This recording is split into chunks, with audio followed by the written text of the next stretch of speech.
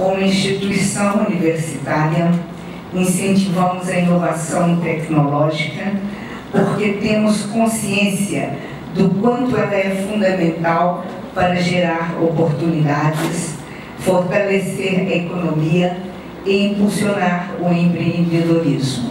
Esta colocação da professora Maria do Rosário Araújo Velano, reitora da Unifenas, foi exposta ao público que participou da palestra proferida por Miguel Correia, secretário de Estado de Desenvolvimento Econômico, Ciência, Tecnologia e Ensino Superior de Minas Gerais. O secretário esteve na universidade para divulgar o programa Minas Digital, cuja missão é capacitar novos empreendedores, desenvolver projetos tecnológicos de ponta e ampliar a competitividade global das startups mineiras.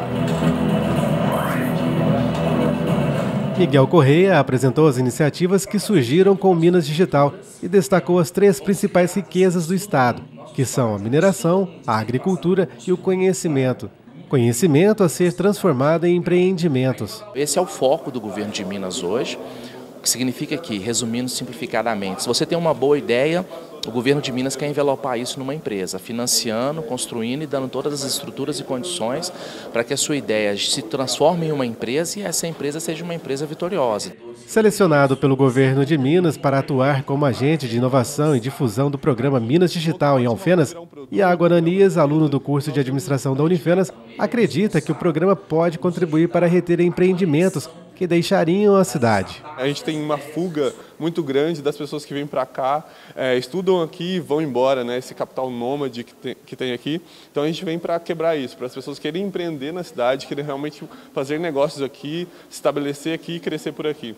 Assim como o programa Meu Primeiro Negócio, uma das ações do Minas Digital focada no ensino médio, a Unifenas estimula o empreendedorismo por meio do Programa de Educação Empreendedora, desenvolvido também em parceria com a Escola Estadual Dr. Emílio Silveira. A iniciativa da universidade conta com o apoio da Liga Empreendedora Universitária. O papel da Liga junto aos alunos de ensino médio é promover para eles uma visão de que é possível empreender, é possível ter o empreendedorismo como opção de carreira.